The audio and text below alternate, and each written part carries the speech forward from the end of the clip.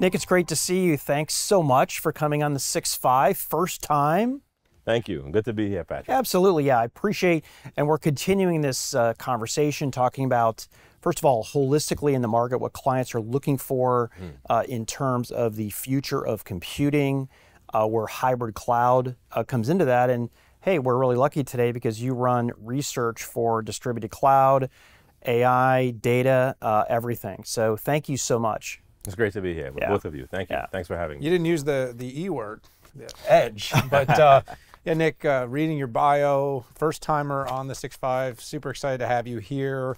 Uh, you're covering a lot of ground. And I think as we sort of tell this future of compute story, you really can't tell that without talking a lot about what's going on in the distributed cloud and, and like I said, the, the E edge.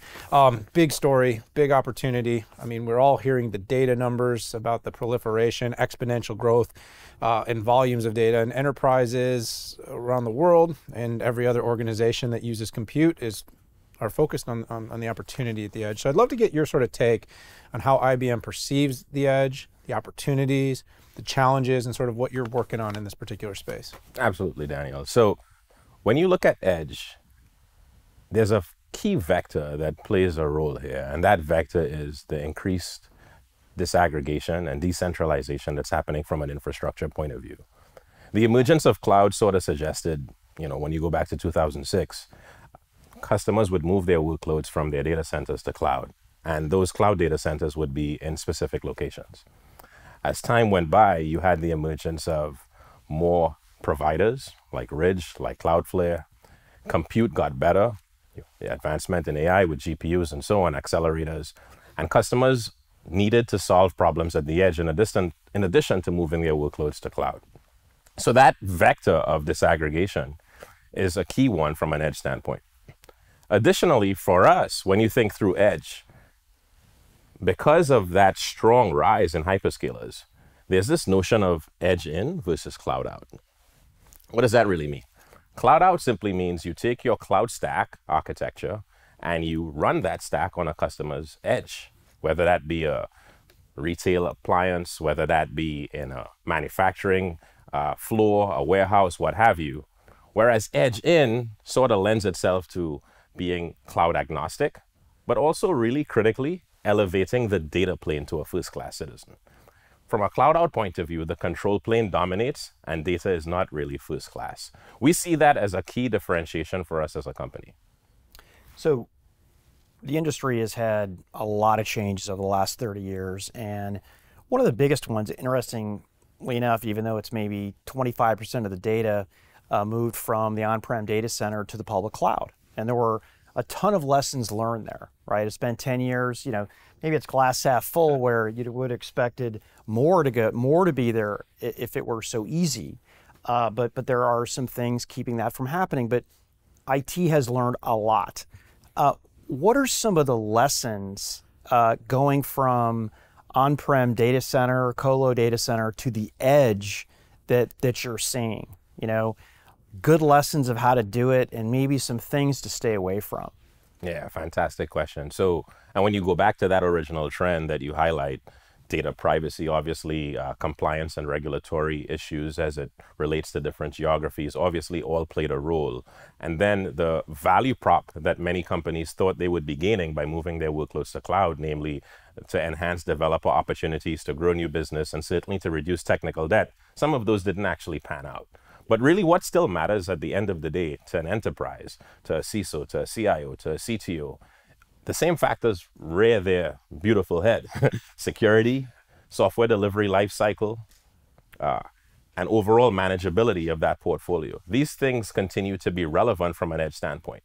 And we see that to be true as we look at the various enterprise clients with whom we work as it relates to the innovation we're building for edge computing. Interesting. So IBM is clearly put uh, kind of an all-in approach on a platform that has, uh, you know, basically common platform for your distributed infrastructure. That was a mouthful, but I got it. um, how does this provide an advantage? Because this is one of the things I think a lot about, and, and I do have an answer for it, but I'm gonna I'm gonna let Nick answer this. Talk about why you've gone down that route, the advantage it creates, and kind of the challenges as companies are, are trying to move in this direction if they don't use that common platform. Yeah, fantastic. So the platform weighs into what architecture you ultimately are adopting from an enterprise standpoint as you go on that journey. At the heart of this all, you're trying to solve some sort of challenge that grows your business, right? Whether that be from a saving standpoint, from a revenue standpoint, that's really what an enterprise is aiming to address our platform based on OpenShift and various extensions of that as it relates to footprint and location, so single node OpenShift, Microshift, etc., running on a range of infrastructure, gives customers that flexibility as it relates to running their workloads on the edge to solve problems in quality control, for example, uh, retail ordering. You might have seen uh, IBM's recent acquisition in the uh, quick service restaurant space with McDonald's.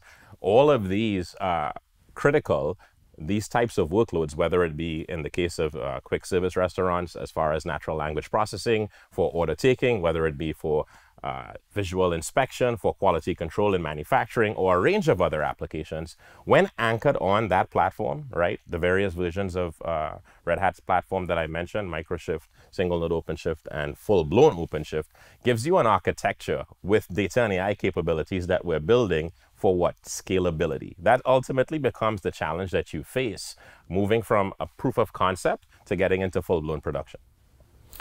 So we talked a little bit of the green room about, hey, this this edge thing is new. Well, okay, well we've had compute on the edge for uh, a long time. Uh, what changed? And I think we can agree that first of all, there's a whole lot more data being electronically captured on the edge versus maybe paper tallying, doing cycle counts. It's it's automatic when somebody takes a, a loaf of bread off the off the shelf at a, at a grocery store, um, and um, we finally have enough compute power and we have uh, machine learning algorithms to run against it that are are very efficient.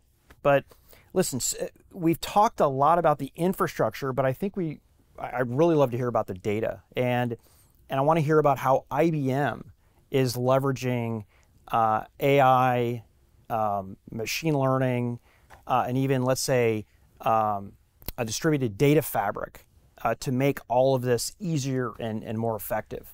Fantastic question. So, and I touched on this briefly a second ago leading into this uh, question. When you solve a problem initially and you demonstrate feasibility, uh, it gives you an idea of how practical that can be as far as addressing that issue, usually with AI machine learning, whether that be NLP, whether that be computer vision, what have you. When it comes to going from that proof of concept to running that model in multiple places, running many more models by, scaled by orders of magnitude in a variety of locations, that cannot be done with the same type of infrastructure. The anchoring platform helps, but you need an architecture that's scalable. And the scalability in that architecture, you're able to leverage that first vector we touched on, the disaggregation and infrastructure. And that choice is up to the client, right? Whomever you've chosen as your hyperscaler provider, that's your choice. That way, that's where you'll do your model training. That model will then be served at a particular location, right? A retail branch, a warehouse, a manufacturing plant, etc., for some type of issue to address. And let's take the visual inspection one with manufacturing. You solve that issue, but then as you build more models, are you really going to take the point you made with all the data being generated at those locations back to the cloud? It's not practical. You need an architecture that allows you to take some of that back to the cloud. And what we do here is build a range of data and AI capabilities that are platform centric. So, for example, imagine you've generated a ton of data from various locations, uh, and now you need to retrain the model because there's no supervision there, right?